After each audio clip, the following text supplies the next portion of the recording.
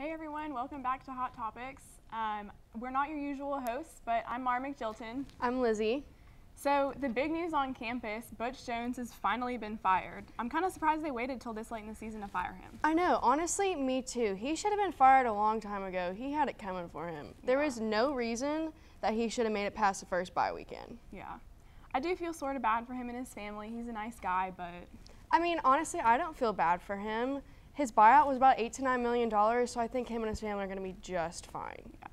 but for this weekend, I think the team is going to be okay. I mean, we have a lot of talent and motivation out there, so Yeah, I We'll see. definitely think they're going to rally behind him this weekend. yeah, We'll see how it goes on the field. So, yeah.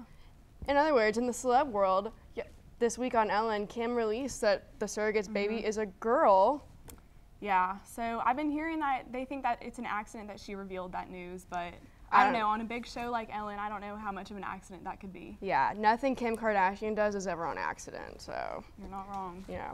Speaking of new products, the iPhone X was just released. Yeah, and so I've been hearing that it only takes $375 to actually make the phone, but they're selling it for over $1,000.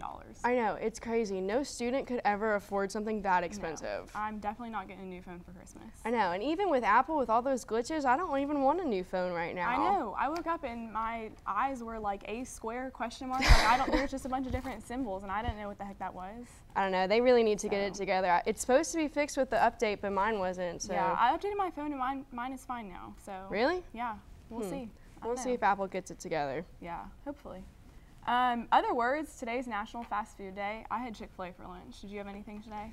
I didn't, but you know what? I think Cane's is far superior than Chick Fil A. If we're being honest here, I've never been to Cane's before. you've never been to Cane's? Nope. Are you kidding? With the special cane sauce and the Texas toast, how could you not go to Cane's? Do you want to go for dinner? Oh, we're going after the show. All right, perfect. All right, well, that's all we have on Hot Topix today. Up next, we have Alex with our musical guest.